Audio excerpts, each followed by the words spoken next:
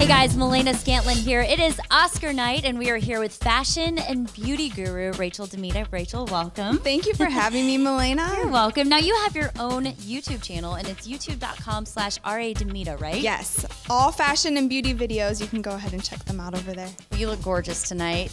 And we are picking out the best dressed on the, tonight's red carpet. The first person we're going to see is Jennifer Lawrence tonight. Did you like her dress?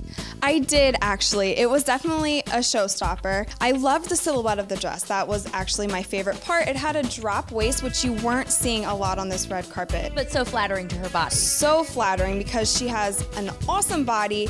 Her hair and makeup looked beautiful. The one critique I would say, I was kind of hoping that she would go with a different color because the off-white, I don't know, it looked a little bridesy to me.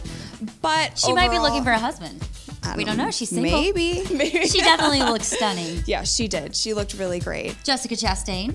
Jessica Chastain, also one of my best dress of the night. It was a nude dress, and you would think, you know, you have to be careful wearing nude with a pale skin and her red hair, but she wore it perfectly. And that undertone just highlighted her skin, and her makeup looked great. Let's go to Halle Berry. Loved the shoulders on her dress. It was so structured and gorgeous. When does she ever not look oh, amazing, oh, yeah. though? She is a cover girl. She's one of my best dress of the night because it was so different, and we didn't see a lot of black on this red carpet long this year, sleeves. or long sleeves, or the shimmer. But she's pulling it off perfectly in her makeup. Oh my goodness, she, She always had looks flawless. a little bit of silver in her liner, and she was just glowing. Your number one pick for tonight is Is Amy Adams? Oh my goodness! I when I saw her step on the red carpet, I was freaking out because I was like, "This is my best dress for sure."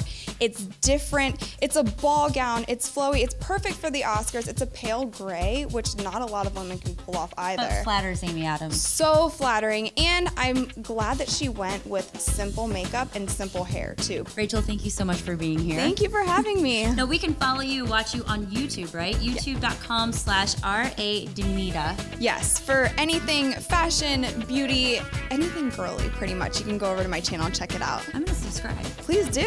I would love that. And guys, be sure to subscribe to ENTV for all your entertainment news first.